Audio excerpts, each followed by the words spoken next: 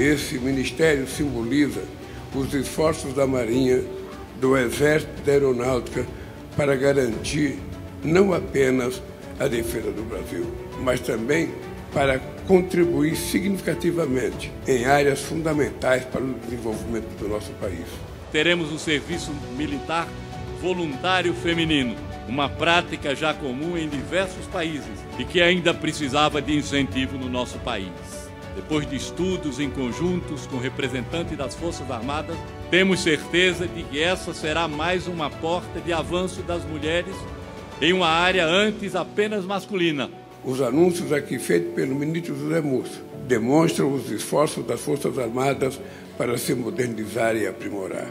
Cito como exemplo a abertura ainda maior para o ingresso de mulheres, reforçando a máxima de que o lugar da mulher é onde ela quiser.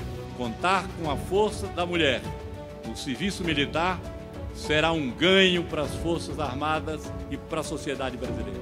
É mais um passo para a ascensão da mulher na vida militar, prática já iniciada pelas três forças.